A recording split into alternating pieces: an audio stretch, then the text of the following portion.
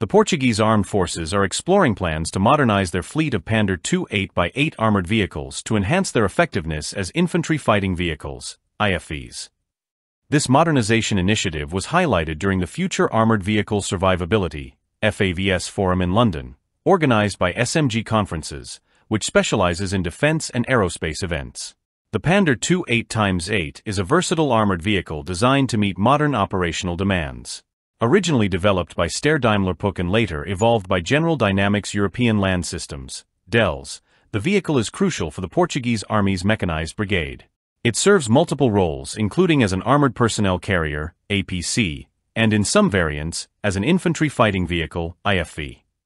The modernizations being considered aim to bolster these roles further, particularly the vehicle's capabilities as a frontline IFV in contemporary combat scenarios. At the FAVS Forum, Lieutenant Colonel Marco Cordeiro, commander of the reconnaissance squadron of the 6th Cavalry Regiment of the Portuguese Army, outlined several potential strategies for upgrading the fleet. Two primary options were discussed a comprehensive upgrade of the existing Pandur II fleet or its full replacement with next generation vehicles optimized for infantry combat. One proposed modernization strategy involves upgrading the existing infantry combat vehicles, ICVs, into fully capable IFVs. This would involve equipping them with advanced weaponry and systems designed to meet the challenges of modern battlefields. DELS has suggested a midlife upgrade program, which would involve replacing the existing 12.7mm machine gun with a medium caliber weapon system, MCWS, such as the 30mm MK44 automatic cannon. This upgrade would enhance the vehicle's firepower, particularly against unmanned aerial systems and concealed infantry, through the use of programmable airburst munitions. In addition to enhanced firepower, the upgraded Pandur 2 vehicles could be equipped with anti-tank guided missiles, ATGMs, such as the Javelin, Spike, or MMP Akeron, which would significantly increase their versatility and lethality in combat. The Pandur 2 8x8, weighing 14.5 tons and offering an 8.5 ton payload capacity, is designed for mobility, protection, and firepower. The vehicle's eight-wheel drive configuration gives it excellent mobility across a range of terrains, which is essential for both military operations and peacekeeping missions. The vehicle can carry up to 12 passengers and a crew of two, making it adaptable for troop transport, reconnaissance, or combat support missions. The Pandur II is equipped with a modular range of armaments that can be tailored to mission-specific needs.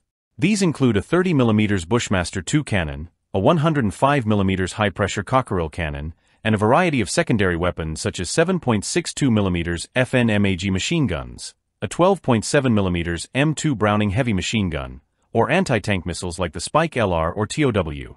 This modularity enables the Pandur II to be configured for a range of roles, from infantry support to direct combat engagements. Additionally, the vehicle features a six-cylinder turbocharged diesel engine capable of delivering 449 horsepower, enabling it to reach speeds of up to 105 km per hour on roads. The vehicle also boasts an operational range of approximately 700 kilometers and is amphibious, capable of traveling at 11 kilometers per hour in water, adding to its versatility in varied operational environments. Portugal's decision to modernize its Pandur II fleet is part of a broader trend among NATO allies to adapt their military assets to meet the increasingly complex challenges of modern warfare, including hybrid warfare scenarios. With this modernization, the Portuguese army seeks to maintain technological parity with its allies and ensure that its mechanized brigade remains an effective and adaptable force within the European defense landscape. If implemented, the upgrades would enhance the Portuguese army's operational capabilities, ensuring that the Pandur II fleet remains a cornerstone of its mechanized forces. Whether through the complete modernization of existing vehicles or the acquisition of new, specialized IFVs, the initiative highlights Portugal's commitment to maintaining a modern, versatile military force capable of addressing both conventional and emerging threats in a rapidly evolving global security environment. This modernization is set to reinforce Portugal's strategic position within NATO, ensuring that it can effectively contribute to both national defense and international peacekeeping efforts.